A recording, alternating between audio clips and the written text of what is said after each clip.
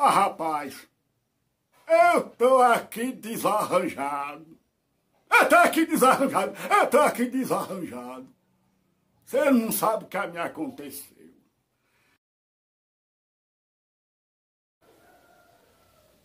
Saudações artísticas do humilde poeta que vos fala.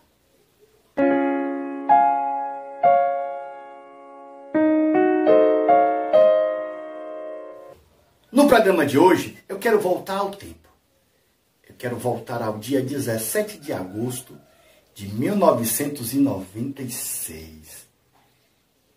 Às 8 horas da noite estava eu sentado no camarim do Teatro Odilon Costa, da Instituição Filarmônica Minerva, na cidade de Morro do Chapéu, na Chapada Diamantina, no interior da Bahia, esperando o momento da estreia do espetáculo de teatro Isso Tudo é Aqui Mesmo? Dirigido por Ana Lúcia e com participação também do grande teatrólogo Marcos Bagano. E eu estava lá sentado e Ana Lúcia passava ansiosa e perguntava-me: Tu tá nervoso? Eu dizia: Tô não, Lula. Tô não. Ela ia lá, voltava, ia lá, voltava. Tu tá nervoso? Aí eu, não, não estou. E tu, Léo, tá? Léo, eu tô. E tu, Lúcia, tá? Eu tô. E tu, Arthur, tu não tá nervoso? Eu não. Fica nervoso, desgraça. Eu não gosto de ator calmo. E naquela noite eu estreiei para público pagante como ator da do grupo de teatro da entidade filarmônica Minerva, com o espetáculo Isso Tudo é Aqui Mesmo. Eu fazia o papel de Pedro, Pedro Bravo, né? Pedro Bravo, um senhor eremita que morava nas locas de pedra da Cachoeira do Agreste, ali perto das Flores, né? Do distrito das Flores. Esse cara existiu mesmo de verdade e a gente, é, por invenção de Marcos Bagano, nós colocamos esta figura meio que alegórica dentro do espetáculo e foi um sucesso imenso, né? A minha missão era única e exclusivamente entreter o público no momento da troca de cenário e da troca de figurino dos atores. E para mim foi uma experiência maravilhosa interpretar o senhor Pedro Bravo. Ei, vocês trouxeram carne? Vocês trouxeram carne? Foi uma coisa que marcou a minha vida por resto da... por, por por, enquanto eu estiver vivo, eu vou me lembrar do velho Pedro Bravo. Conheci o seu Pedro Bravo, o eremita Pedro Bravo, muito engraçado. Ele repetia a, a, mesma fala por várias vezes. E tu trouxe carne, e tu trouxe carne. A gente ia acampar quando jovem na Cachoeira do Agreste e ele aparecia por lá, nu, enrolado num, numa, é, numa coberta toda esfarrapada, uns olhos esbugalhados, muito, muito, uma figura muito interessante. E por incrível que pareça, um, um ser humano da bondade imensa tinha um certo desequilíbrio mental, mas nos trazia muito conhecimento, conhecimento empírico, conhecimento do nosso povo. Eu sou Arthur Oliveira e vocês estão no canal História, Arte e Poesia. Pedro Bravo, o, o programa hoje é dedicado a você. E você trouxe carne?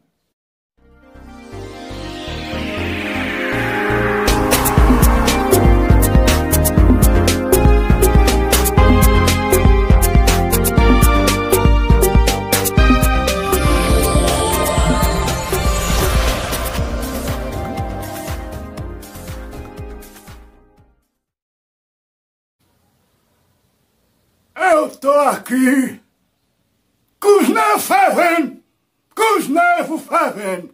Eu tô aqui injuriado de raiva. Ah, miserável, esse tal Luiz Borrado é um desgraçado. Olha, bem que eu disse, não elegesse um prefeito que bebe. O homem que bebe é um cabeça podre. Quem é doido? Quem é doido de entregar seus pissuídos ao homem que bebe? Quem é doido? Quem é doido de entregar a prefeitura ao homem que bebe? Olha, eu cheguei, Eu cheguei para retirar meu aposento, meu benefício. Quando eu cheguei no Banco Brasil, eu fui no Banco do Brasil, passei naquele rodando, aquela miséria daquela porta rodando. Quando eu cheguei lá dentro, eu perguntei quem é o gerente e o povo me disse que o banco estava fechado. Que só ia estar tá recebendo dentro da dinheiro dentro daquelas caixas dos computadores. Eu olhei assim e falei, que diabo é isso? E aí me disseram que a cidade estava toda fechada. E estava fechada, e estava fechada, e estava fechada por causa de um tal de minha careta. Eu, hein? Que diabo é minha careta? Você tá com... Ah, eu sou homem sério. Não me vê com descaradismo. Que diabo é minha careta? Aí me disseram, me disseram que era o diabo de um caminhão. Cheio de gente tocando teus instrumentos riba e um rebanho de dois atrás um rebanho de dois atrás, um rebanho de dois pulando. Eu nunca vi uma procissão esculampada como aquela. Um bocado de gente bebe, e o homem que bebe, homem que bebe é um cabeça podre. Aí eu fui pra casa, rapaz. Sem conseguir tirar meu aposento, rapaz. Eu cheguei e fui-me embora andando de a pés. Mas não tinha, mas não tinha dinheiro, mas não tinha dinheiro, mas não tinha dinheiro, não tinha dinheiro para pagar a passagem do, carro. Eu fui chegando isso borrado. Eu fui xingando aquele desgraçado, porque é homem que bebe, é cabeça podre. Homem que bebe é o cabeça podre. Como é que pode parar a cidade todinha, parar a cidade todinha, parar a cidade todinha, só pra ter o diabo do micareta? E foi fruto uma aposta. Uma aposta de um litro de pinga. O homem que bebe é o cabeça podre. Seu Pedro Bravo era uma figura muito engraçada. Um dia eu tinha acampado, estava acampando eu, é, Cristiano, irmão de Charles Carvalho, pintor de Morro de Chapéu. Estava também é, Joãozinho, João, João, Joãozinho que era que trabalhava na eletrônica junto com Humberto, né? Da Texat, se eu não me lembro, eu não lembro o nome agora da eletrônica de Humberto hoje. E, e uma turma, né? E eu tava com muita dor de cabeça, muita dor de cabeça mesmo, por ter bebido cachaça com que suco. Olha que loucura. E aí quando ele chegou, que ele me viu com dor de cabeça e me viu deitado, assim, meio, meio triste, né? E ele, eita, o que é que você tem? E o que é que você tem? E é o quê? E aí pegou, me viu que eu tava meio febril e tal. E aí, eu vou fazer, eu vou fazer aqui um chá.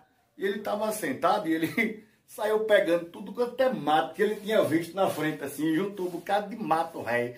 Rapaz, tinha malva, tinha aqueles carrapichos, tudo quanto é miséria que ele tinha pego ao redor jogou dentro de uma panela e fez o diabo desse chá e me deu.